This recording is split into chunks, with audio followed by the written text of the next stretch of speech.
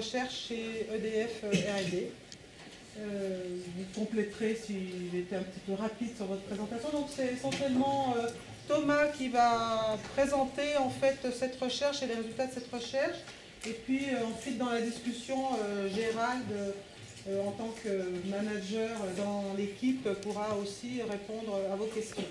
Voilà, merci à vous d'être venus, puis je vous laisse la, parole. Bonjour, bonjour à et à toutes. Euh, merci Valérie pour euh, donner la possibilité de présenter un petit peu cette recherche.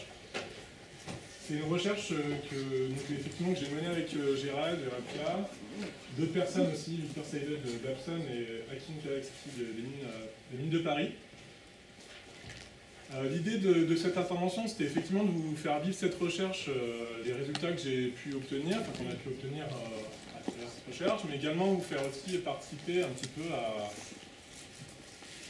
on va dire, au process de la recherche en tant que telle, c'est-à-dire vraiment finalement la manière dont on a analysé les données, dont on s'est projeté dans les données. C'est intéressant parce que finalement on a assez peu l'occasion aussi d'échanger là-dessus, sur les, méthodes qui me permettent de collecter des données, d'étudier ce qu'on appelle euh, l'innovation ou la créativité. Le, thème général en fait de, cette recherche c'est autour de, autour de la créativité et surtout de la génération d'idées.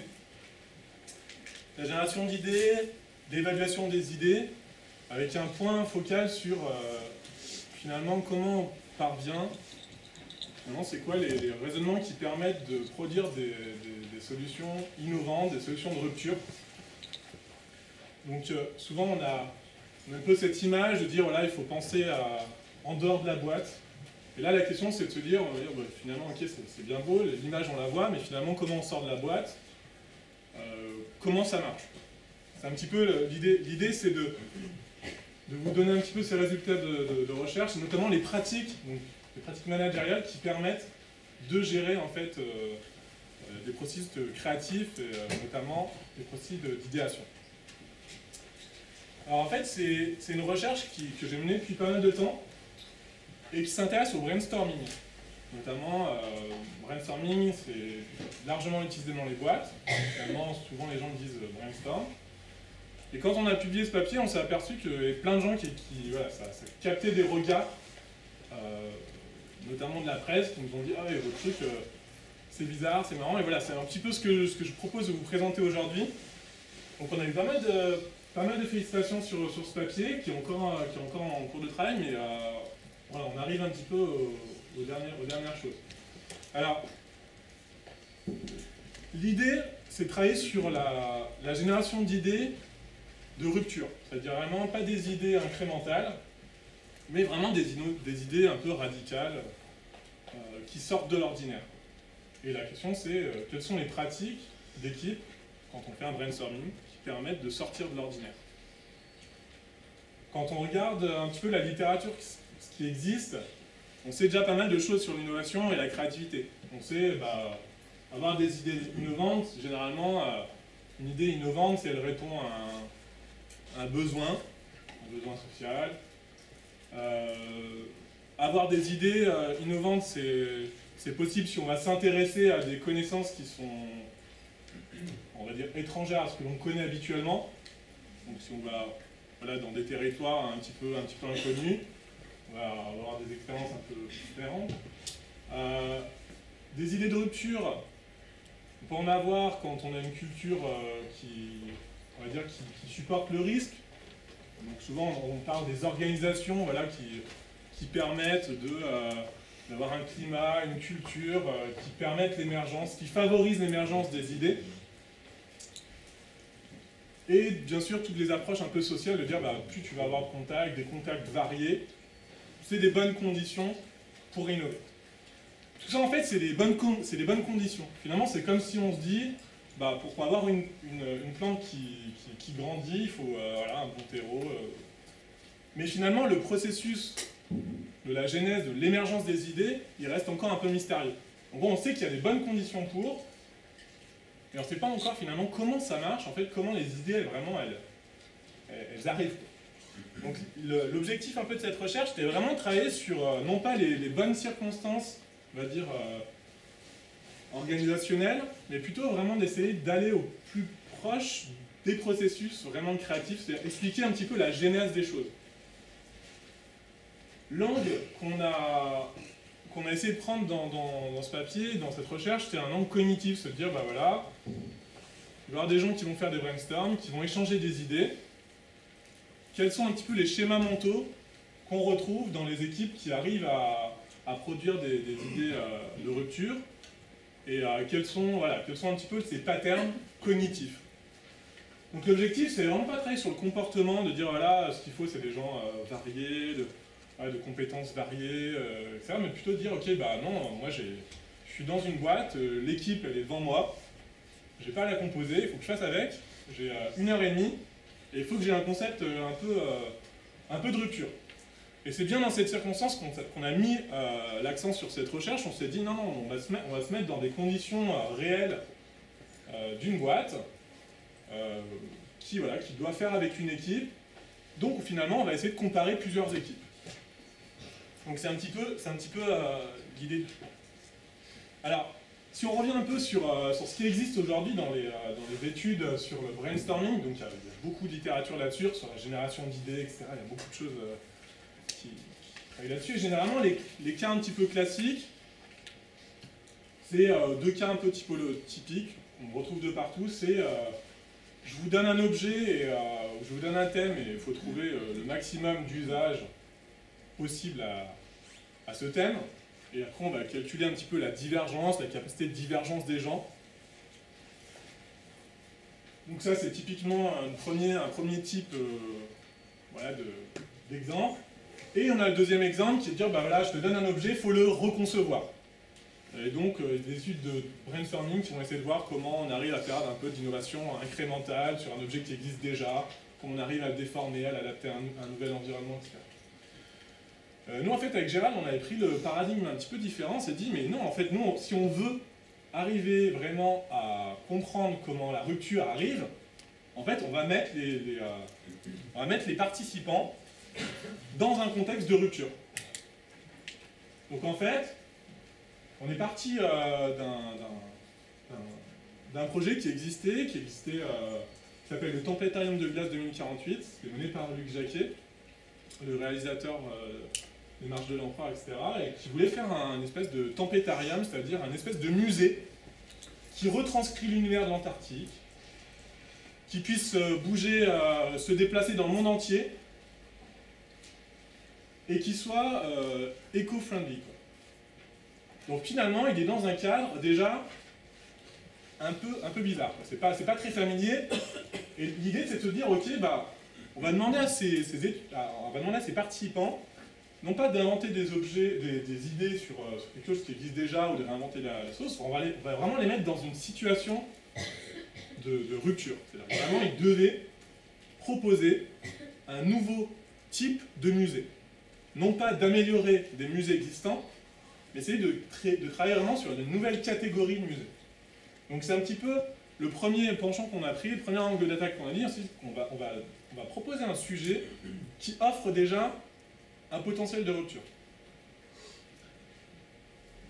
Ce qui est intéressant, c'est qu'aussi ce qu'on voit, c'est que dans, la littérature, on dit souvent, euh, voilà, il faut innover, il faut, changer, mais finalement, quand on regarde, on s'aperçoit qu'il y a une grosse crainte de la nouveauté et de la rupture.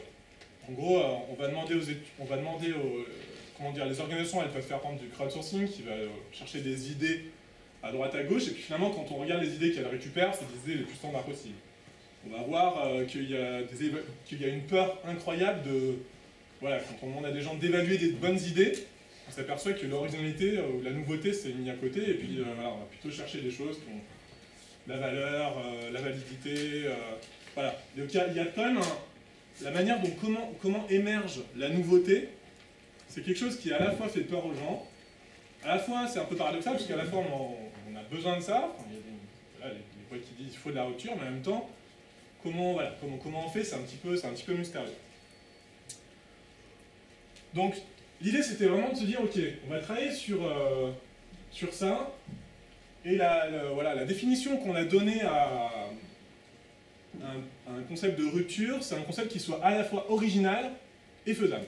Et en fait, on s'aperçoit que finalement, c'est généralement les deux critères, euh, c'est des critères qui sont un petit peu orthogonaux.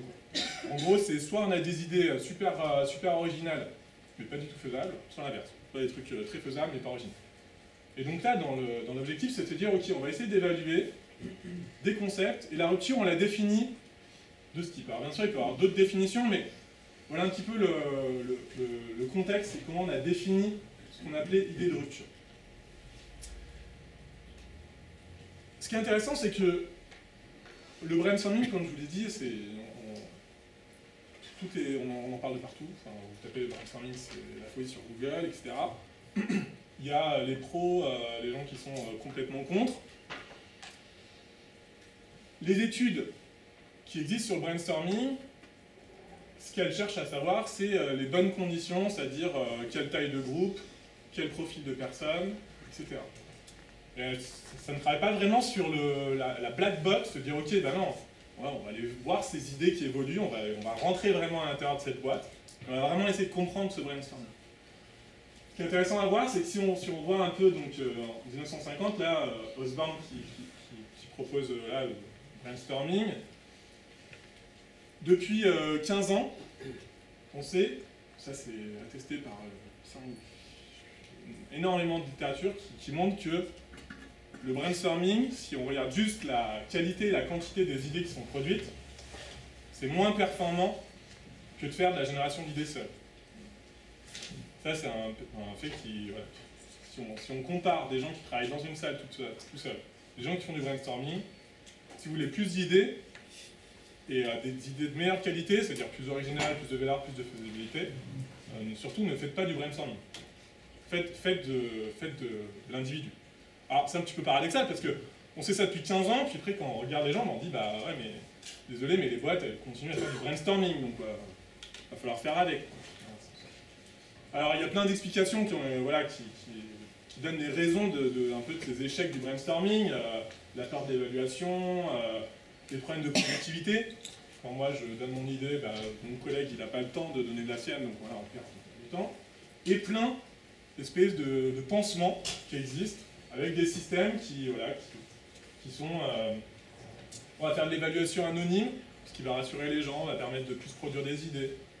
On va faire du, euh, du crowdsourcing, donc euh, les gens ils vont pouvoir travailler en, en- asynchrone, etc., euh, lancer le plus, en- le- le plus, d'idées. Donc il y a beaucoup de, on va dire de, de pansements qui existent là-dessus, qui sont des dispositifs organisationnels. Encore une fois, nous, ce, qu'on, on était intéressés, c'est de se dire, mais vu que ces brainstorming ils ont lieu, nous, ce qui nous intéresse, c'est vraiment regarder à l'intérieur de cette boîte du brainstorming, c'est-à-dire vraiment les activités qui se passent, comment ça marche. Alors, la littérature sur brainstorming, finalement, il y en a un peu deux. Il y a deux approches qu'on peut prendre. Il y a l'approche traditionnaliste, vraiment pure Osborne, qui dit euh, bah, vous générez plein d'idées, des idées très originales, vous ne posez pas la question de la faisabilité, vous critiquez pas, et ensuite, dans une, deuxième phase, vous regardez les idées faisables. Ça, on arrive à ça. On arrive à 100, 200, 300, 400 idées. Difficile à évaluer, difficile à mener au, à mener bout. Et ça, c'est une première approche qui dit finalement, la manière dont ça se passe à l'intérieur de cette boîte de brainstorming, c'est bah, au début, euh, génération d'idées, et ensuite évaluation d'idées. Et puis il y a un deuxième courant qui est plus lié vers euh, ce qu'on appelle les théories de conception, qui, dit finalement ces deux activités de, génération d'idées et d'évaluation, elles sont pas elles sont pas si distinctes l'une de l'autre, et qui propose plus de dire voilà non quand, on est en brainstorming, on va essayer de composer des idées, on va essayer de les mélanger, de les combiner. Finalement, on va pas avoir vraiment une, euh, un critère qui va dire voilà, où il va falloir choisir les idées. Ça ne veut pas dire qu'il n'y a pas d'évaluation totale, c'est dire que c'est presque pas, c'est implicite. C'est-à-dire que, par exemple, moi je vais donner une idée, vous allez répondre à mon idée, ou rebondir sur mon idée. C'est déjà un choix de votre part. C'est-à-dire qu'en gros, vous faites déjà un choix de rebondir sur celle-là plutôt que celle-là. Mais globalement, ça veut dire que dans ce modèle-là, on n'est pas à, dire ok, on va produire d'abord et évaluer ensuite. On essaie de mixer un petit peu ces deux, ces deux, ces deux approches. Donc on a un peu ces, ces deux grands types de, de, process qui existent, qu'on retrouve en, brainstorming. Et donc nous, une question, c'est de dire, ok, bah, finalement, euh, lequel est bon, comment faut faire, euh. Alors, l'idée de, l'idée de cette recherche, donc c'est une recherche qu'on a fait en fin, fin 2012-2013, comme, euh, comme, je, vous l'ai dit, l'idée c'était de donner un thème de départ qui soit déjà la, rupture, c'est-à-dire d'immerger euh, les gens en leur disant, bah voilà. Euh, donc c'était 10 équipes de 3 personnes. 3 personnes qui sont de 3, c'était 3 professionnels qui avaient une expérience. Je demandais un minimum d'expérience en RD, en innovation. Et donc je les, je les dans la, salle, les, groupes après groupe, un groupe par soir. Et euh, je leur donnais le brief qui était le température de glace. Je leur disais, ben voilà, il faut que euh, à la fin de l'heure, là, de l'heure 30, vous me proposiez un concept de musée qui retranscrit l'univers antarctique, qui soit itinérant et euh, éco-friendly. Alors, je ne suis pas la tête des gens quand je leur dis ça. Surtout quand je leur ai dit que j'allais partir et qu'ils allaient être tout seuls pour, pour produire ça sachant que c'est des gens qui ne se connaissaient pas forcément des Alors bien sûr, ils me disaient, mais c'est pas possible, moi bien sûr j'ai inventé, en leur disant, mais si, si, euh, hier il y en a qui l'ont fait, même au premier groupe, ils ont... Ah si, si, mais c'est possible. Donc finalement, ça c'était un petit peu les conditions de départ, et l'objectif c'était finalement, moi j'étais derrière une, euh, une vitre c'était de les filmer et de recueillir toutes les conversations qu'ils disaient durant 7h30. Donc j'ai filmé, on les a enregistrés, et euh, donc, euh, euh, en fait, pendant une heure et demie, ils parlaient, c'était complètement libre, complètement libre sur, euh, les règles. Et je leur disais, ben voilà, moi, dans une heure et demie, je reviens, vous m'expliquez votre, votre concept. La seule demande, c'était qu'ils me fassent, fassent un, A3 qui me présente leur, concept final. Au bout d'une heure trente, je toquais à la porte et je disais, bah ok, bah, présentez-moi votre concept. J'avais une checklist qui me disait, ok, bah, je suis en face de ce musée, qu'est-ce que je vois? Gens me disaient, bah voilà, vous voyez ici, ça, ça, ça. Ok, je rentre, comment je rentre, là, je rentre. Ok, je suis à l'intérieur, qu'est-ce que je fais? Et donc voilà, il me faisait vraiment le, on dire, le, chemin, on va dire, euh, le chemin du visiteur. Je comprenne un petit peu tout ça. Une fois que j'ai récupéré en fait ces, euh, ces 10 concepts, je suis allé voir des, euh, experts, donc notamment les, gens qui, qui experts en musée, notamment ceux qui musée de, musée de Grenoble, en montrant les trucs, en voilà, on va essayer de choisir un petit peu euh, les concepts qui sont les plus euh, de rupture. Donc, euh, en gros, je faisais évaluer la faisabilité, l'originalité et aussi la valeur, que j'ai laissé un petit peu à. Et l'idée c'était, donc on a, on a fait ça par 13 experts, et ensuite je mesurais le niveau de consensus entre les experts. Ça c'était ma manière d'évaluer la radicalité des choses. globalement, 80% donc c'était de l'évaluation confidentielle, individuelle. Au bout du premier tour, 80% avaient déjà, euh, enfin des experts avaient dégagé euh, les bons, les moins bons experts. Sachant que c'était des experts des musées, mais également des gens qui, euh, étaient capables, enfin, qui avaient déjà une expérience dans l'organisation d'événements publics, etc. Donc, au final, je finissais mon expérimentation, j'avais 10 concepts, 10 évaluations, et 400 pages de conversation qui expliquaient les raisonnements, euh, tout ce qui a été dit pendant euh, les 10 euh, fois 1h30 de, session. donc globalement, là j'ai vraiment un interlocuteur qui dit, le froid, il y a effectivement cet aspect-là, tu peux mettre du froid dans le musée. ce qui est à l'intérieur du musée, c'est le côté fonctionnel, parce qu'il nous lie l'intérieur et l'extérieur. J'ai commencé à coder en fait chacune de ces choses. Euh, très rapidement, je me suis dit, euh, là, ça va être vraiment dur parce que comment je code, etc., c'est un peu compliqué. Euh, et je me suis dit, je vais essayer un, codage qu'on retrouve dans une théorie qui s'appelle la théorie CK. Dans cette théorie, finalement, je ne vais pas vous présenter la théorie maintenant, mais globalement, il y a un peu deux types d'idées. Il y a des idées qu'on va appeler non-ID, c'est des idées qui sont un petit peu connues, des propriétés qui sont un peu connues, C'est-à-dire, par exemple, une idée qui est de dire, euh, ah bah, dans, ce- dans ce, dans ce musée, il y aura des possibilités qu'il y ait des enfants qui rentrent, poss- possibilités qu'ils payent moins cher, bah, le, musée sera ouvert euh, de 8h à 18h, enfin, toutes des choses qu'on connaît, finalement. Mais des propriétés de conception, parce que finalement, à la fin, quand je leur demandais, bah, expliquez-moi votre, euh, votre musée, il y avait qui, me- qui me donnaient ce genre de, de propositions. Donc en fait, j'ai séparé, enfin on a séparé les propositions du type connu, incrémental, qui restent dans ce qu'on connaît aujourd'hui des musées, avec des propositions qui sont euh, complètement loufoques. Des choses qui sont vraiment en marge du, voilà, du paradigme un peu courant des musées. Typiquement, des gens qui disaient, bah, ok, il y aura, ce sera un labyrinthe, euh, les gens vont rentrer dans, dans ce musée, ils vont devoir faire des choix, et selon les choix qu'ils vont faire, ils vont être orientés différemment, donc finalement, ils vont pas avoir le même musée. Donc euh, même il y en dit, c'est vraiment des gens qui, qui sont complètement pas, euh, qui font tous les mauvais choix écologiques possibles, ils vont même sortir très très rapidement du musée, enfin voilà, des propositions comme ça.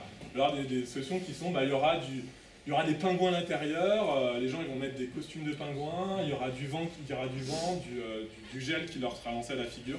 Voilà, tous des trucs on se dit ouais, ouais possible. Pas gagné mais possible. Ou alors des gens qui disent bah ce sera un, musée qui arrivera en, zeppelin dans l'air et qui se posera. Donc en fait ce qu'on a fait c'est que avec Gérald, on a pris tous les transcripts et on a, on collé toutes les. Tous les, idées qu'on voyait. Et ensuite, donc on a fait ça de manière euh, indépendante, et ensuite on a regardé ce que Gérald avait codé et ce que j'avais codé, pour voir encore si, en fait euh, on reconnaissait des idées déjà au même moment. Et la bonne nouvelle, c'est que déjà l'homme est capable de- d'identifier des idées dans un texte. Pas mal. Donc en fait, on s'est aperçu qu'effectivement, plus de 70% du, temps, les idées que Gérald avait euh, codées, je les avais codées, et globalement, on est assez d'accord sur le euh, non-IDs, unknown IDs. Ensuite, on s'est dit, bon, ok, là on a des idées, euh, mais on est encore loin des raisonnements et du cheminement des idées. On rajoute encore un, un truc qui est les liens entre les idées. C'est-à-dire, ce qu'on a essayé de faire, c'est qu'on a pris les transcripts en disant, ok, quand par exemple une personne disait à texto, hein, donc explicitement dans le texte, disait ah mais c'est vrai que ton, ton idée de, pingouin, ça me fait penser à telle et telle idée, on dit ah là il y a un lien qui s'est fait entre deux idées. Donc on a repris tout le texte, et pareil. Donc là vous avez un groupe, euh, c'est un extract. Euh, vous avez par exemple l'idée là qui est de pro, voilà, euh, providing realistic accessories to visitors. Donc là je pense que c'était euh, des costumes de pingouins. Et on s'est dit bah ok, euh, euh, cette idée là, elle est liée avec celle-là. Et là, c'est l'idée de carrément mettre un bateau à l'intérieur, un bateau, un vrai bateau à l'intérieur du musée, euh, grandeur réelle, etc. Donc on a fait ce, chemin. Donc finalement, on avait deux choses. On avait une analyse temporelle, on sait quand les idées elles arrivaient, on savait si elles étaient répétées ou pas. Et si c'était des idées qu'on avait jugées inconnues, connues, et on savait si c'était des idées qui étaient liées les unes les autres.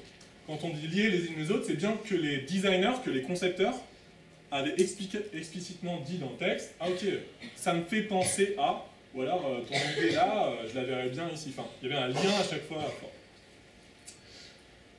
Et ensuite, euh, la grande bataille pour trouver les patterns, les choses, qui, les choses qui peuvent ressortir des données.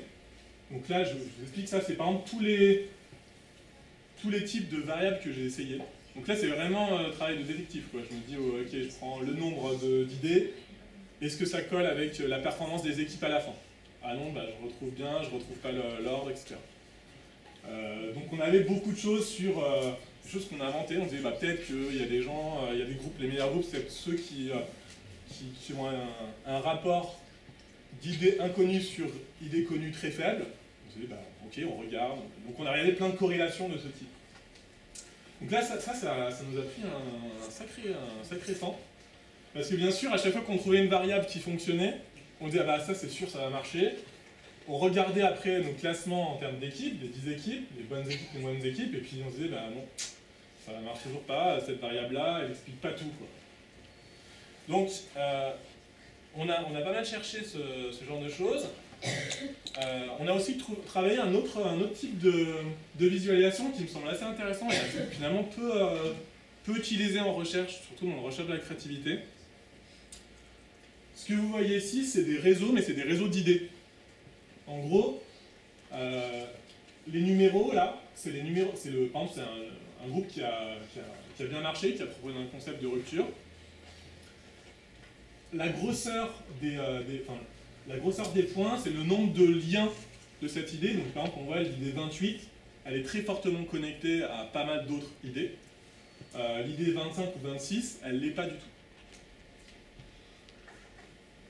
La différence aussi qu'on a commencé à voir aussi, c'est qu'à la fin, comme chaque groupe m'a donné en fait euh, son concept final, on a pu voir quelles étaient les propositions, les idées qui avaient été gardées à la fin ou qui avaient été rejetées. En gros, pareil, on a pris euh, le schéma, plus les audios du feedback de chacun des groupes, et avec Gérald, on se disait, ok, dans ce qu'ils nous ont donné à la fin, qu'est-ce qu'ils ont gardé du process? Donc là, vous voyez, en blanc, c'est les, idées qui n'ont euh, pas été conservées. Donc là, du coup, on a eu 10, 10 maps comme ça. C'est assez intéressant parce que souvent on parle de créativité, etc., mais on ne voit pas à l'intérieur de la, cette box. Et là, on arrivait vraiment à tracer les idées les unes les unes aux autres. Donc ça, c'est voilà, là, c'était l'aspect un peu euh, intéressant, c'est que on s'est dit, ok, bah là, on est vraiment sur de la micro-analyse de, de, de l'idéation.